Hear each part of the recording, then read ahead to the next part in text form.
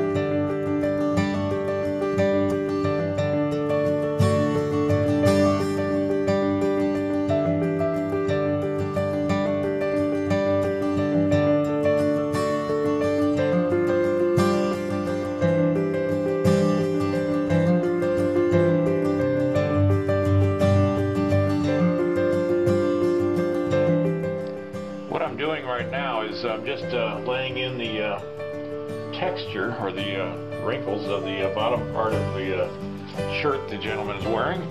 As you can see in the pictures here, uh, it extends down below a belt. I'm putting a belt on him, uh, much like the one you see here. And um, only because, uh, and, and I'm, what I'm going to do is I'm going to put that belt over a sash which will be underneath it.